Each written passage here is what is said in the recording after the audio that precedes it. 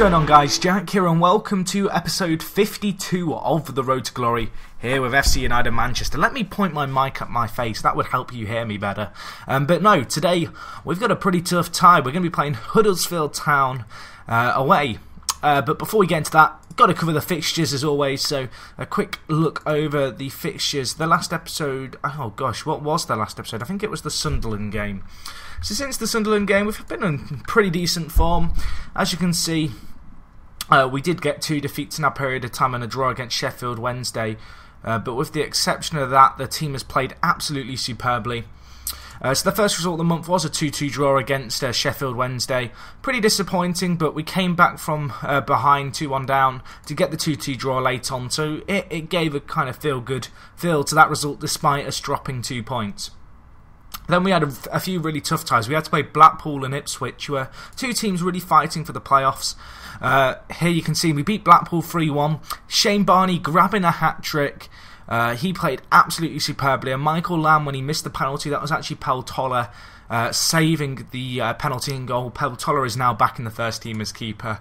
I dropped him for a few games, a few. I think it was in episode 50. Uh, but he's back now and he is playing a lot better for the break that he's had. Anyway, on the back of this, we came up against Ipswich Town and Shane Barney grabbed another two goals for us in a 3 1 win. Uh, I'm going to show you the highlight just of the very first goal. It was an insane goal to score. Uh, right from kickoff, uh, the whole team kind of played well in this. You'll see it's a really good passing goal, but this game as a whole, and I mean a lot of these games, we've just been outplaying and outpassing oppositions. I don't, I can't even remember if Ipswich get a touch of the ball before the ball hits the back of their net on this goal. Um, it was just a really well worked goal, and then Paltari with the cool, calm, finessed finish into the top right corner over the keeper. Really good finish there. But that was that result. We won 3 1. We then had a game against Birmingham. Birmingham are really struggling in the league. Um, there, 23rd. So uh, it was important that we got a good result against them, and we did.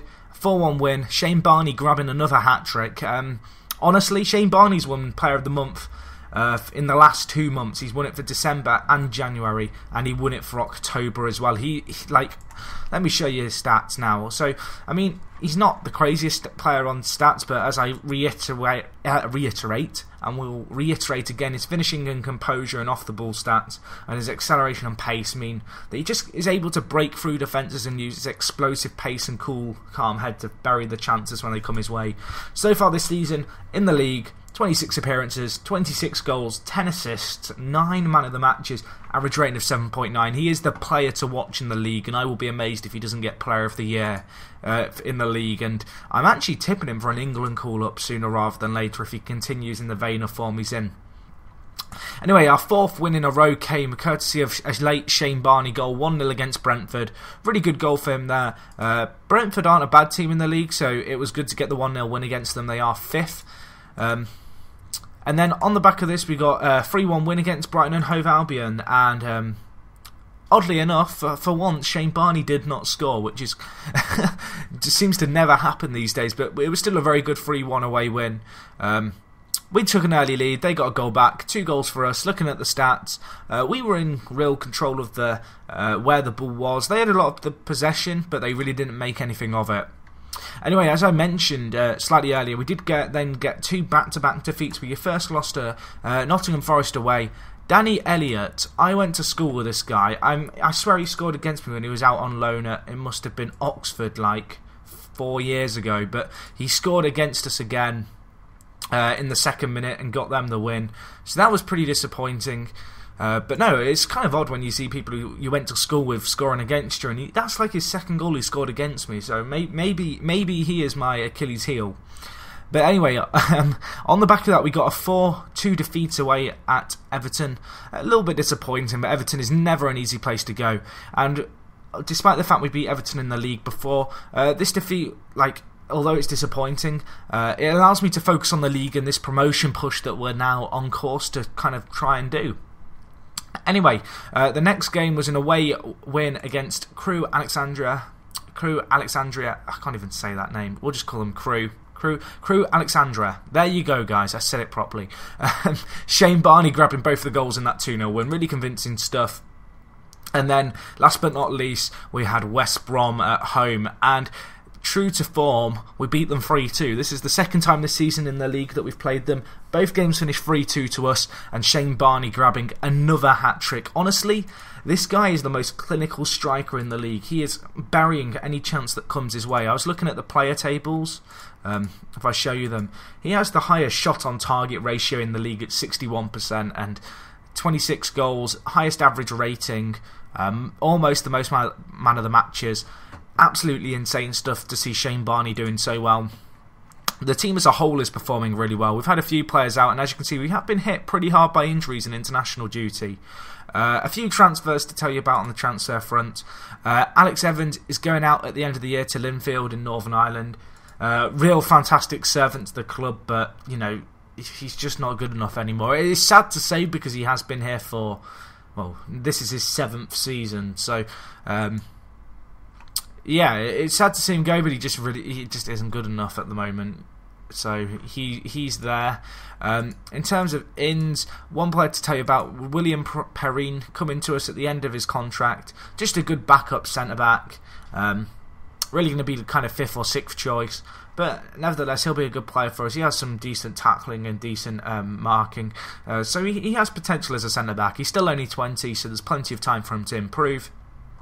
Um, was there anything else really? Oh, um, Mohamed Ali Paul's gone out on loan, and so has Angus Gunn. And then uh, David McCallum has gone out on loan also. Uh, you may remember this guy came in at the start of the year to play left mid. Really hasn't broken into the first team, just simply not good enough. Um, I brought him in as backup, but we've not really struggled too much in the injury front.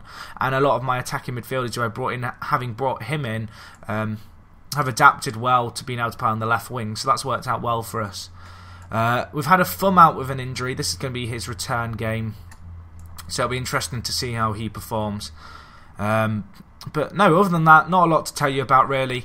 Uh, looking at the league table, with 32 games played to 14 matches left, we are currently in second place. Uh, we're tied on points with Cardiff, who are in third. West Brom are two points ahead of us and top of the league. Uh, the league is unbelievably close. Uh, in terms of fixtures, depending on how things go, I think the next video will be the Cardiff City game, and then I may well live com the last five or six games of the year as well. So you guys will have to stay tuned for that. Uh, but for now, we've got to focus on the present. We are playing Huddersfield away. Huddersfield find themselves. Um, where the hell are they? Huddersfield, Huddersfield, Huddersfield. I'm going blind. 15th. So you'd expect us to get a win here. Uh, going to be interesting to see how we get on. Uh, Montgomery and um, oh, what's his name, Musavi are out at the moment uh, on international duty in the Asian Cup, so we are slightly deple uh, depleted in that regard. However, uh, you'd still expect us with the players we've got to really get a good result here away at the Galpharm Stadium. So let's get straight into this. I'm hoping Shane Barney can grab another few goals. He's been absolutely insane this year. Like obviously he kind of struggled in his first year at the club, and then last year he was an essential part of our push up uh, kind of League One, and now we find ourselves in here uh, in the Prem. In the Prem, in the Championship, pushing for the Prem, and he is leading the way. He is looking like the Championship's hottest striker. He's not actually top goal scorer. He's behind Sean Scannell in that regard, He plays for West Brom. However, he's got 10 assists in 26 games as well as 26 goals. Um, and just you know his performances alone have led to him uh, kind of being the player of the year for me at least so far. But we've got a chance here. Uh, it's hit the crossbar. Let me switch to 2BD pitch view because I know not everyone can see uh, the ball when we have those highlights on in 3D. But we'll still have the highlights come on after the goals. Um, anyway, nil nil at the moment.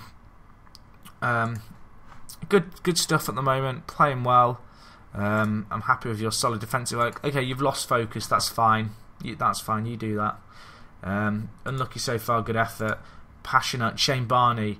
You weren't bad, but you can improve. I have faith in you. I have faith in Shane Barney. Whenever I say that, he seems to grab a second half hat trick, which he probably won't do now because I've said it. But uh, I don't know, he's grabbing like a brace every other game, it would seem, or at least two goals, which is pretty crazy. We've got a chance here, hits the post.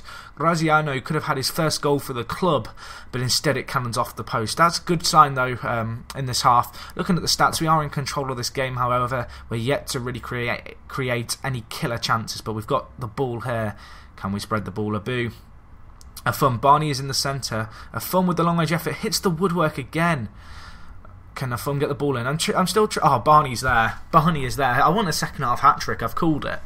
Uh, but no, what I was saying was, Afun's been injured, but I am training him to play left attacking mid. And since he's kind of played that inside, you know, cut inside winger role, despite his lack of place, uh, pace, and his kind of, kind of quite physical target man like stats, he's really adapted well to that role there of kind of playing in the killer balls. Um, so yeah, that's good to see. Uh, fantastic to see Barney getting on the score sheet, and he's got another chance here, and he's buried it again. That's 2 0. Shane Barney, two goals in three minutes. Could he grab a hat trick after I've called it? That would be pretty mental. Um, Glenn Stewart's taken a knock. I am going to sub him off just because uh, now that we've got a two goal cushion, I feel comfortable kind of slightly weakening, weakening our defensive unit. But that was still a really good goal. Ball threaded through. Shane Barney just beats the keeper with the diving header and gets it into the bottom left hand corner. I, I seriously can't express how insane Shane Barney's been. Um, obviously, I brought in like Kevin Doyle, and he's done nothing. And we've got another chance here. Hits the post, was that, or did the keeper save it? Good save by the keeper, in fact. Uh, but no, I don't know what we'd do without Shane Barney because like he has literally been grabbing like ninety percent of the goals for the team, which isn't a bad thing. But if he gets injured, we could be in trouble. Uh, I mean, we have got players like a Thumb who can step in, uh, and we've got an injury to Mayo. I'm going to just take him off. Better to be safe than sorry.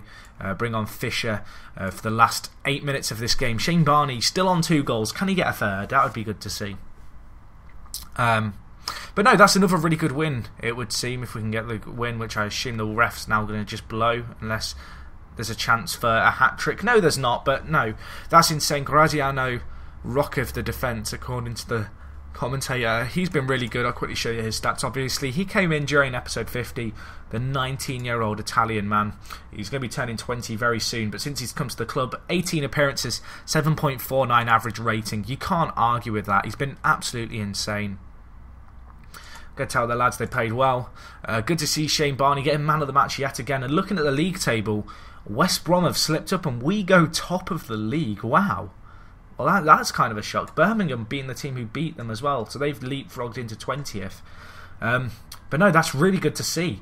Uh, we are now top on goal difference ahead of Cardiff City, but that good 2 uh, 0 win helps our goal difference even further. Uh, so no, things are going absolutely insanely here, guys. I think the next episode will be the game against Cardiff, um, which is fairly soon. It's at the start of next month. Um, There'll be not. There's actually not that many games to play. There'll only be four matches next episode that I have to cover. So I might do the Cardiff game, and then we'll be able to see what's what going into the end of the season, and can we really mount a serious challenge at the top of the league to win the championship and get back-to-back promotions into the Premier League? It's going to be exciting. Hopefully, you guys are looking forward to it. Uh, other than that, guys, if you've got any comments, want to ask me anything with regards to the save, as always, leave it down in uh, down below and I will get back to you. And other than that, guys, I'll talk to you in a bit. It's me, Jack, and I'm out.